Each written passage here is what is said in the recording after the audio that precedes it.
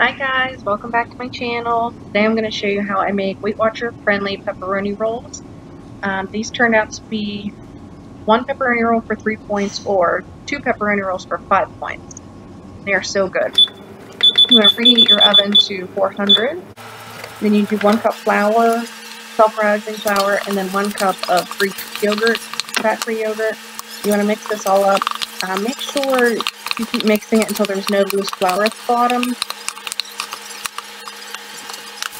And then I put wax paper down. I do not suggest this. I did it the last time I made um, the pizza, and it worked out fine. This was terrible. It kept sticking. Um, even with putting flour down and flour in my hands, it just kept sticking. But um, you want to knead your dough until you get uh, the consistency that you want. It just kept, it was a mess. I don't suggest, I thought I was saving myself a mess to clean up later, and it was terrible. I don't do it. Learn from my mistakes.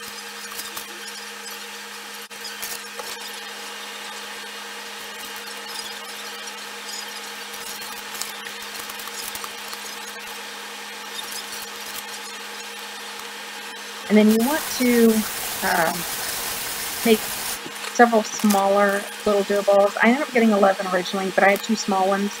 So I just separated one to even out the other two. So I ended up with 10 pepperoni rolls.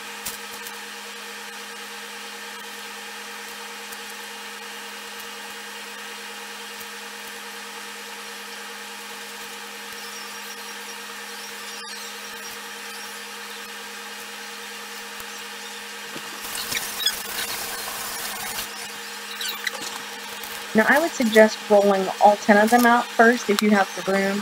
Uh, make sure when you're rolling them out, you put flour not only down your surface, but over your rolling pin so that it doesn't stick to your dough. I still had trouble with it sticking.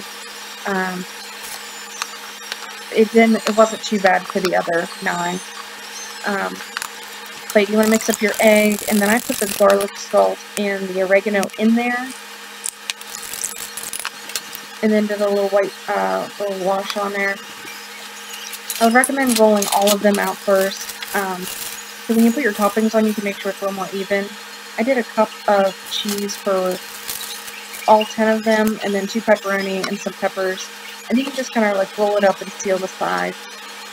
Um, I got lucky that all of mine came out with even cheese, but uh, that I'm just rubbing olive oil on so they get a nice and brown, and then you want to throw them in your oven.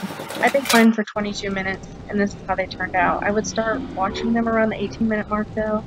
Like, these are so good, they're filling. Um, you can eat them how they are, or you could dip them in your favorite pepper or pizza sauce. Um, Alright guys, I hope you liked this video. Um, leave comments down below. Try this, let me know what you think, and I'll see you on my next video.